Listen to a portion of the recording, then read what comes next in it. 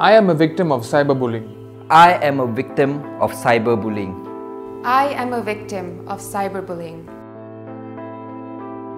Bullying doesn't just take place on the streets or schools. It also happens online and it's also known as cyberbullying. And during the pandemic, it went up by 156% and it is still climbing. Cyberbullying includes sending, sharing, posting anything mean about someone which cause harm to the person who is bullied, making them feel small and worthless. It can happen anywhere on your phone, the computer, tablets. And because it is on your gadgets, it is pretty difficult for loving parents and caring teachers to notice, and that makes it even more dangerous. So, if any of you were having second thoughts to step in and help someone from cyberbullying, I want to let you know that it is everyone's business to stop cyberbullying. Did you know that the Communications and Multimedia Act 1998 criminalizes the use of internet facilities by any person to transmit any message deemed to be offensive or causes annoyance to another person?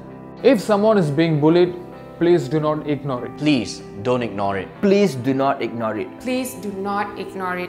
Talk about it and seek help. Cyberbullying could lead to depression and worse, suicide. Some of you might say, Ayah, if you're just being bullied, then just delete your social media lah.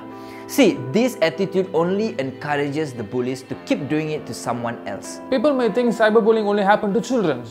No, it can happen to adults as well.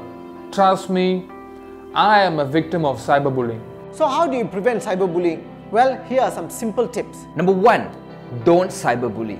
It's not cool. In fact, it's actually pathetic. Second, reach out to the people being hurt and positively encourage them. Number three, do not share content. Instead, report it and have it taken down. And number four, stand up for those who are being bullied.